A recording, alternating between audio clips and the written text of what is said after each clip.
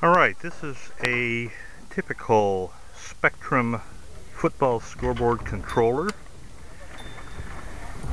This is what the scoreboard looks like, if you can see it off in the distance. The switches are not exactly in the same place as the things that they control on the board, so it may be a little bit of a challenge to figure those things out. There is also a little readout here on the panel that shows you the time and all the information on the board. I don't use it because it's too hard to see during the game. Okay for what it is. First of all, let's talk about how we run run the clock. Um, this is the on and off switch. It's on the left side. Here are the home scores and visitor scores.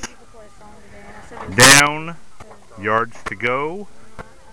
Right here on the left side in this little panel. Ball on is here, ball possession is there.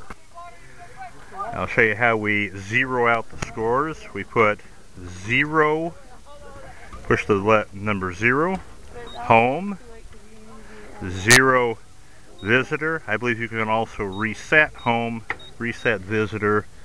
If you do that, the scores will go blank. I like to have them at zero to zero. That way it looks like we know what we're doing. This is the down number. Now it's a little bit tricky on here because on the scoreboard the down is above the yards to go. On the control panel, the button is below it. Pushing the button once will advance the down to two, three, four, and then we'll reset it back to one.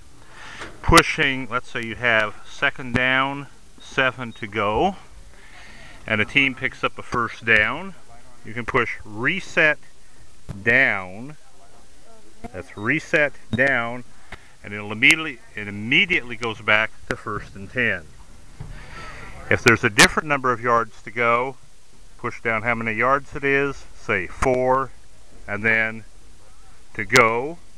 You want to show what line the ball is on. Now right now we're showing the ball is on the zero yard line. We obviously don't have a zero yard line, so that'll never be an operative uh, place during a game. Let's say it's on the uh, well, let's say it's a goal to go situation. We have first and four, that you push four and then ball on. If you reset ball on, it goes blank. You got somebody standing in the way here, all right? That'll reset it to blank. Push reset uh, quarter, and that will go to one. Notice that the quarter the quarter is up here at the top, even though on the scoreboard it'll be under the visitor score. Fortunately, it will automatically reset the, automatically advance the quarter as time expires, so you don't have to worry about that too much during the game. Setting the time. In JV games, we play 10 minute quarters, varsity or 12. So for a 10 minute quarter, we go 1 0 0 0. Now you notice there's nothing on there right now. It just says zero, so you push. let's see, what do we push? Okay, we push uh, clock set, and that's way over here. Have to remember that. You only have to do that once a game, usually, to get that set. Uh, timeouts left. Remember to set them to three. Home timeout left, visitor timeout. On this scoreboard, the timeouts left will be very tiny numbers that are between the scores and the game clock. Ball possession.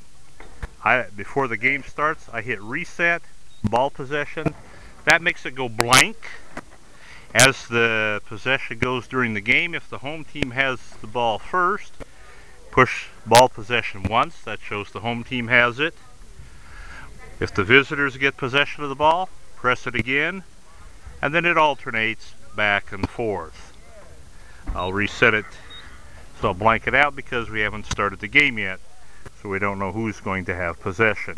I wait till after the ball has been kicked and the ball's been recovered.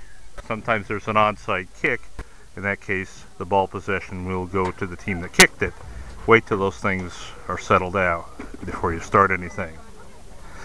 All right, now for a pregame, I'm going to oh show. Let's see, we have.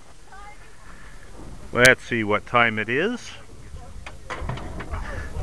It's four o'clock, so we'll do a 30-minute pregame countdown. So I go three zero zero zero, and I go clock set, and then I go on. Push the switch on to start it, and off to stop it. You'll have much more success running one of these things if you know what the rules are for football timing. You may want to watch a few games on TV. They're a little bit different at the pro, college, and high school levels. If you can see some high school games, not from Texas where they use the college rules, but from almost any other state, including California, you get a pretty good idea of what the rules are. And in any case, the college rules and the high school rules are very similar for example, the clock stops to move the chains on a first down. The officials may give an odd signal in that case. They may wave their hands, they may give the cranking signal as the play is blown dead, and then immediately put their hands over their head, waving it back and forth to stop the clock. That's a little bit confusing, but what it means is that the play stayed in bounds, the clock will start on the ready once the chains are reset. Um, putting scores up here. There are two ways to do it. You can advance them one at a time. You do that by pushing the teams, pushing the H home or V visitor, and that'll put up the scores one at a time. However, I prefer, I'd reset them there, and actually I like to do it this way. Let's say the home team scores a touchdown. I just put up six home, and now you've got a touchdown. If we go for 2 and we get the conversion, you push 2, and there you get it.